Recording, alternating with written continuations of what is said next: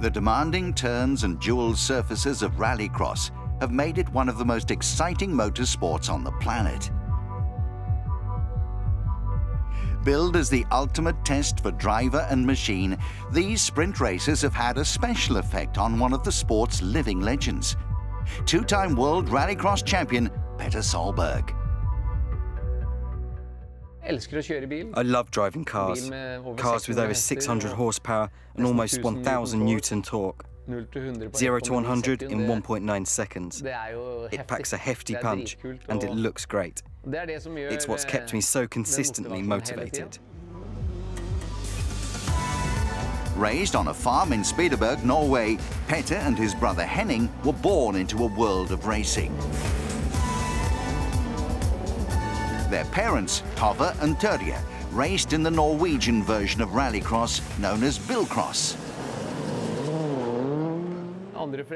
Other parents took their kids to football, but mum and dad took me and Henning to car races, where they drove. And we as a family all built the cars they raced. That was the passion we had for the sport, and since then, it has only ever been about cars and racing them. On his 18th birthday, Petter finally got his racing license. And within a matter of days, he was at his first race. He took second place and followed that up with a first. National Rallycross success followed in 1995 with a title defence a year later. Then came the decision to switch to rallying. He excelled there, taking the national crown in 1998. The top World Rally teams took notice and Ford snapped him up for the 1999 season. His stylish form of driving gained him the nickname Mr. Hollywood, and an impressive debut saw Solberg opt out of his Ford contract. He switched to Subaru, who provided him with the iconic Impreza. The car is incredible to drive. It's all of those small details that makes that car perfect uh, which you feel on your bottom when you drive, and you don't have a computer. It ticks all the little boxes and makes it a great experience. Easy to drive, balanced, precise, the braking, the feeling. Everything is going through my spine when I'm driving. Petter became Norway's first ever World Rally champion in 2003. The win was made even more impressive given who he beat along the way. Carlos Sainz, Sebastian Loeb, Colin McRae, Richard Burns and Tommi Mäkinen, some of the biggest names in the history of rallying. When I became world champion in 2003, almost everyone from the older generation and the younger generation of drivers were there. So for me, it was possibly the hardest year in world championship history. Ogier was probably the only name missing from the list. He came later. But I believe I won the championship at the toughest time and in one of the hardest years. It would be Solberg's only title win. He finished runner-up to Sebastian Loeb for the next two seasons. Petter remained one of the top drivers on the circuit until his decision to move back to his first love, rallycross, in 2013. Rallycross is a small jewel that hasn't been worked with a lot. And when that opportunity came up and proved successful with the two championship wins, it was just an amazing feeling. We built the car ourselves without any manufacturer's support. It was built in the workshop at our home, and that just makes it more special. Solberg won the first two World Rallycross Championships, becoming the first driver to win FIA World titles in two different disciplines. For the 2017 season, the 42-year-old has signed up with manufacturer Volkswagen to create the PSRX Volkswagen Sweden race team. Sole focus to win the team championship.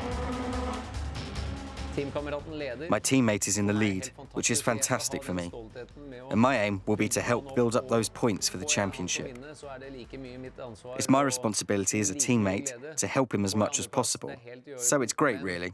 If I get second place, that's okay. But the team championship is my first priority, and that has been the plan from the beginning. Swedish teammate Johan Kristoffersson currently has a 35-point lead over Solberg in the standings after they took another 1-2 finish in round 8 of the championships in Canada in early August.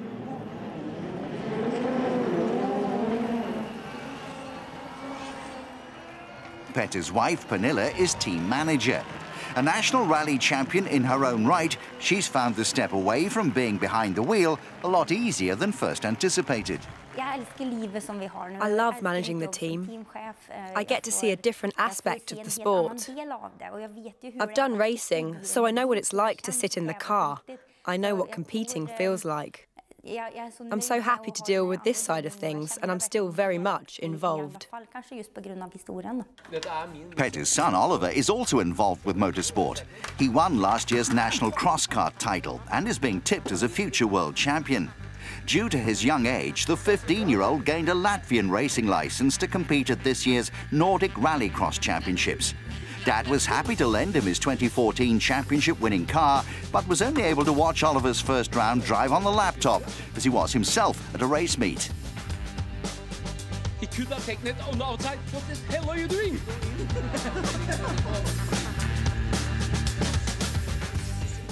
Uh, nervous, stressful, but I can see that he can drive the car and has good control. So I'm happy.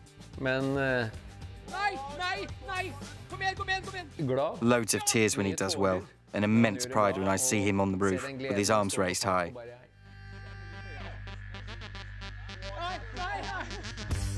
Having inherited both his parents' talent for driving, Oliver won the second round of the Nordic Rallycross and became the youngest ever supercar winner.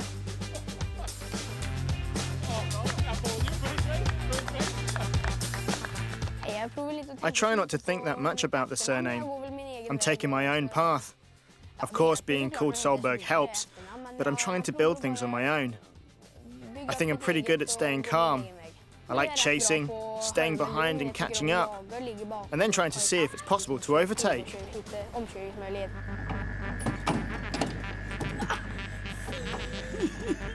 Fy faen, jeg er dreit meg. Å, helvete! Åh. Yes! It's a constant competition between them. All he thinks about is one day competing against Petter. Racing against him is probably his biggest dream. Maybe one day. You never know. He'll probably stop before I start. If I've gained enough experience and learned everything I can from him, if I do everything that he does and try to do it better, then I might beat him. The future looks bright for the Solbergs, and Oliver looks set to make his European supercar debut in some form next season, adding to an already overcrowded family calendar. This is our life. It's all we know. It might sound weird, but this is a normal life to us and we like it this way. It's fast-paced, and the three of us are together all the time. The dog joins us occasionally when we take a trip with the camper van. We're really lucky that we get to experience so much together as a family. Having borrowed one championship-winning car already and possessing all the attributes of a great driver, Petter still won't let his son behind the wheel of one particular car. He sat on my lap in the Subaru once when he was very little. He had his dummy in his mouth and I was out testing. He hasn't driven the Subaru yet, but he's nagging about it. It's his dream car. He's a big fan of that one, though I think he will inherit it before I even let him drive it. We'll leave the two of them to race that one out.